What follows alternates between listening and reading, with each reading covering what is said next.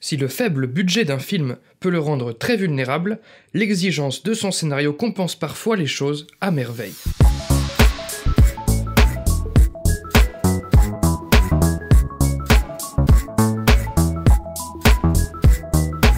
Salut et bienvenue dans ce sixième numéro de Comment c'est raconté, le podcast qui déconstruit les scénarios un dimanche sur deux.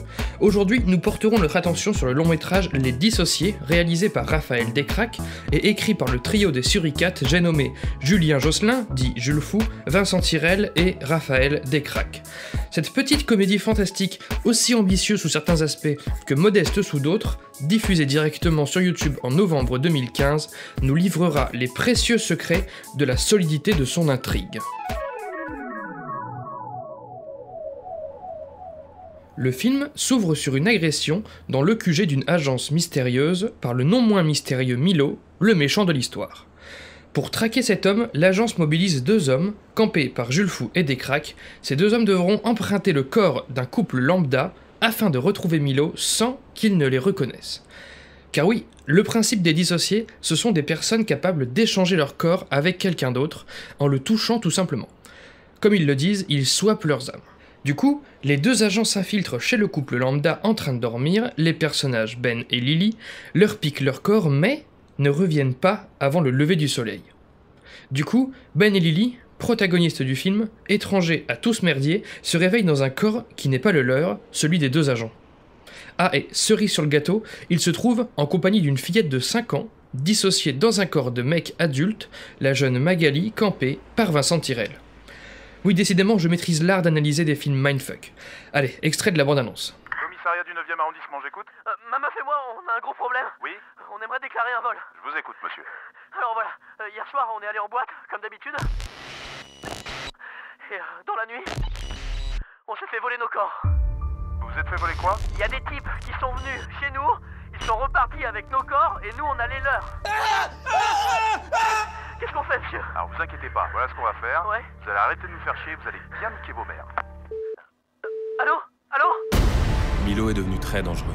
C'est lui qui détient vos corps. J'ai changé le monde depuis mon canapé. Si vous voulez les récupérer, vous allez devoir nous aider à l'arrêter. Quand même pas passer toute notre vie dans ces corps de merde là.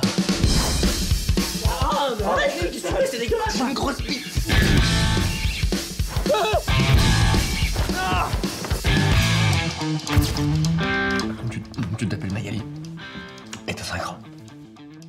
Souvent, le génie et la réussite de cette comédie sont attribués à son casting de star du web d'une part, et à son concept malin de générer du fantastique sans effets spéciaux d'autre part.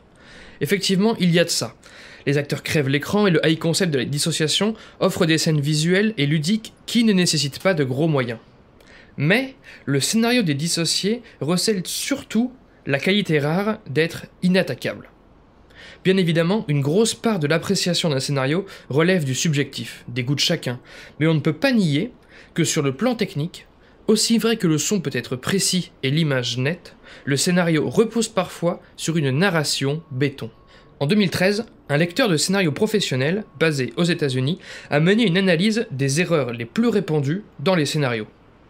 Le rôle de cette personne au quotidien consiste à juger de la qualité artistique et technique des scénarios soumis aux boîtes de production afin de leur recommander ou non la mise en chantier de ces projets.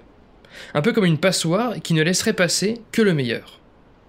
Ainsi, cet homme s'est basé sur un échantillon de 300 scénarios jugés afin de produire une infographie complète censée refléter entre guillemets le marché des scénarios. Quels genres cinématographiques sont privilégiés? Le scénariste est-il plus souvent une femme ou un homme? Où l'action a-t-elle tendance à se situer? Combien de projets se voient retenus? Mais encore et surtout, quelles erreurs apparaissent le plus souvent dans ces scénarios? Cet analyste, dont vous retrouverez l'étude en description de ce podcast, a relevé une quarantaine de maladresses dramaturgiques les plus récurrentes, sources de scénarios bancals et donc refusés par les producteurs. Penchons-nous sur cette liste et voyons comment la comédie des suricates s'en sort, autrement dit constatons les pièges classiques dans lesquels elle est peut-être tombée ou non.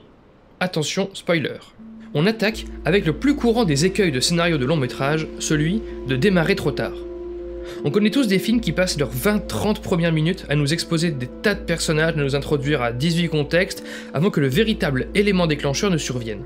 Des films que l'on a tendance à zapper direct, par ennui. Eh bien, Les Dissociés, soumis à la tyrannie du rythme imposé par le YouTube Game, ne souffre heureusement pas de cette erreur. Comme on le disait, la première scène ouvre sur une baston au sein du regroupement Les Dissociés.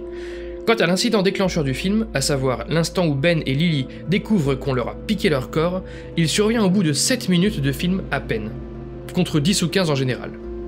Autant vous dire que, en dépit de la complexité de leur concept, les Suricates ont délégué la majorité des explications au reste de l'histoire, ne nous introduisant dans un premier temps qu'au strict nécessaire.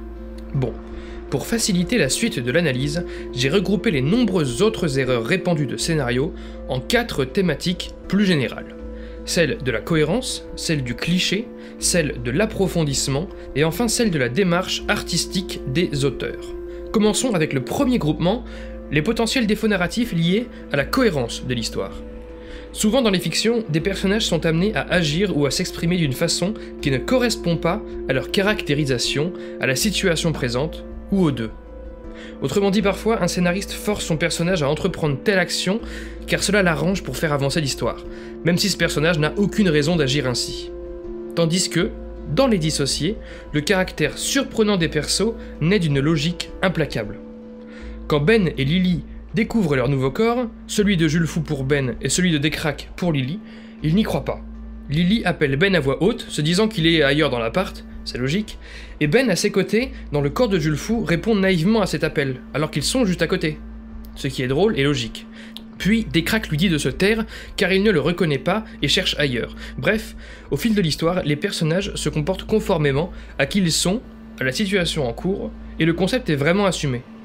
On reconnaît toujours l'âme qui se cache derrière un corps, qu'il soit dissocié ou non. Ce qui nous mène à une autre erreur répandue de scénario, celle de l'ultra complexité de l'histoire. Alors oui, Les Dissociés est une comédie complexe, mais, vous l'aurez remarqué, elle en demeure parfaitement lisible car exposée de façon ludique, progressive et pédagogique. Souvent aussi, à repérer l'analyste, il arrive qu'un film parte dans tous les sens durant son troisième acte. Or, Les Dissociés referment et complètent en crescendo toutes les intrigues amorcées, depuis l'histoire du couple à celle de l'agence en passant par le sauvetage des personnes possédées par Milo. Certaines œuvres par ailleurs, toujours concernant les problèmes de cohérence, laissent des questions sans réponse ou cumulent des éléments non reliés au reste de l'intrigue. Ici, si l'on nommait les running gags un peu gratuits qui permettent d'aérer le film, chaque élément de l'histoire trouve sa place au sein du tout. Que ce soit dans l'exploration de la dissociation, dans l'aspect éthique de la possession, dans le rapport au corps de l'autre, tout découle organiquement du concept du film, du moins sur le plan thématique. Bref, en gros, c'est ficelé, quoi. Souvent aussi, une histoire devient floue l'extrême ressemblance de ces personnages. Et si les dissociés sont clairement en position de nous perdre, avec tous les swaps de corps qu'enchaînent les personnages, eh bien il n'en est rien. Magali est parfaitement reconnaissable par sa façon puérile de s'exprimer. Ben est parfaitement reconnaissable par sa manie de ne pas formuler ses expressions en entier. Lily est parfaitement reconnaissable par sa réticence constante au fait de s'engager. Que ce soit par leur vocabulaire, leur fonction dans l'agence, leur caractère ou que sais-je, chaque personnage reste différent des autres et identifiable quel que soit le corps dans lequel il se trouve. Il en résulte une comédie riche avec peu de personnages mais agencée judicieusement. Et pour finir sur la question de la cohérence, bien des films ne savent pas sur quel ton danser. Alors que là, du début à la fin, Les Dissociés demeurent une comédie. Même dans ces scènes les plus dramatiques, car il en faut pour dynamiser l'histoire, les personnages désamorcent les situations par des remarques et comportements un peu stupides, un peu humoristiques, qui nous décrochent le sourire en prime. Parlons à présent du deuxième groupement d'erreurs récurrentes, celles liées aux clichés. Beaucoup de films cumulent des facilités et des raccourcis. Par exemple, on a tendance à se taper l'éternel méchant machiavélique et sadique. Or, dans Les Dissociés, Milo a forgé sa haine dans un sentiment d'impuissance quotidienne et dans un chagrin d'amour fatal. C'est simple, basique, mais cela justifie le plan insidieux de cet antagoniste. Parfois aussi, les personnages s'avèrent stéréotypés, munis, pour seule caractéristique, de leur poids, de leur beauté, de leur sexualité, d'un trait de caractère démesuré, etc. Parmi ces stéréotypes se trouvent notamment les personnages féminins, trop fréquemment moins développés, relégués au rôle de mère, de femme, de sœur, et non de personnages indépendants à part entière. Eh bien, les dissociés profitent de son faible nombre de personnages pour leur conférer une complexité suffisante, comme Magali, qui est aussi courageuse et puissante qu'immature, ou Lily, qui, par peur de l'engagement, défie les clichés du perso féminin parfait qui rêve de se poser avec son mec, blablabla machin, laissant ce rôle ingrat au sympathique Ben. Mêler composition complète de personnages et modernité de leur caractérisation. Enfin, pour clore la problématique et des erreurs de scénario liées aux clichés, cette comédie ne nous abreuve pas de punchlines surfaites dont nous gavent certains films de genre français dans les pas de leurs modèles américains, autrement dit, elle ne se prend pas trop au sérieux. Un parfait équilibre cette fois entre une structure sérieuse et un contenu décomplexé.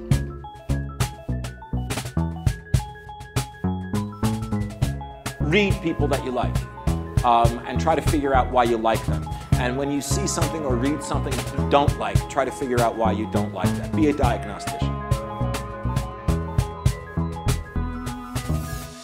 Cap sur le troisième groupement des erreurs les plus récurrentes, celles liées à l'approfondissement de l'histoire. L'une d'entre elles, le manque de conflit dans les scènes, constitue le deuxième défaut le plus courant parmi tous les défauts de scénario, nous indique ce lecteur professionnel. Est-ce le cas avec les dissociés? Et non. Depuis la découverte de la dissociation par Ben et Lily, à l'opposition à Milo, en passant par les problèmes de couple, les bêtises de Magali ou le combat contre les possédés, chaque scène dispose effectivement d'un conflit central captivant. Mais dans ce cas, autre potentiel écueil, ces conflits sont-ils gratuits, juste là pour créer de l'action artificielle? La réponse est simple, c'est encore non, puisque chacun des obstacles correspond à son but associé, celui de sauver les Parisiens de la possession de Milo, de sauver leur relation pour Lily et Ben, de surveiller la petite fille aussi, ou de récupérer leur corps d'origine entre autres, etc. Alors peut-être que le conflit, dans ce cas, est mal introduit, qu'il est beaucoup raconté mais peu montré. D'une, Les Dissociés est de base un film très visuel et peu centré sur les dialogues, de deux, les conflits relationnels naissent des comportements des personnages, de leur point de vue, et non juste de plaintes interminables et verbeuses qu'ils formuleraient les uns aux autres façon sitcom du siècle dernier. Encore une fois, pas d'erreur. Très bien, le conflit raconté dans cette comédie est absolument béton lui aussi. Rien d'autre concernant l'approfondissement de l'histoire? Par exemple, un manque de substance dans le récit en lui-même, ou le fait que les personnages n'évoluent pas vraiment entre le début et la fin? Eh bien, si on constate que cette comédie joue tout autant sur la sphère extra-personnelle, c'est-à-dire les Parisiens possédés, que sur la sphère personnelle, c'est-à-dire le couple ou l'amitié, ou encore que sur la sphère intrapersonnelle, c'est-à-dire le rapport à son propre corps, alors les dissociés affichent à nouveau un scénario approfondi. Les personnages quant à eux évoluent bel et bien. Lily gagne en maturité, Magali en contrôle, Ben en flexibilité, Chantal se repentit de sa traîtrise, et seul Milo court à sa perte, ce qui est logique, par son incapacité à se remettre en question. Pour terminer sur l'approfondissement de l'histoire, le scénario ne sous-utilise-t-il pas le potentiel de son concept ou ne cumule-t-il pas de phénomènes restés non expliqués? Pour le coup, cette comédie explore au maximum les possibilités que lui offre le principe du swap de corps.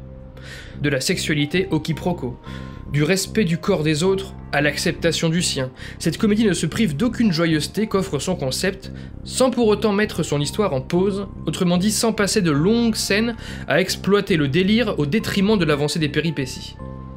Histoire et exploration du concept progressent main dans la main. Par ailleurs, les scénaristes ont su nommer et conceptualiser chaque élément du film, du swap à la possession, en passant par la dissociation et la cohabitation de deux âmes dans un même corps. Les règles s'avèrent claires. Passons enfin au quatrième et dernier groupement d'erreurs répandues, celles liées à la démarche artistique des auteurs. De nombreux scénarios comptent simplement l'histoire de leur auteur, forme d'autobiographie déguisée. Si ce dernier ne présente pas le recul nécessaire sur sa propre vie, nous pouvons vite virer au pathos, au bon sentiment, ou en d'autres termes, à un intérêt de l'histoire surévalué.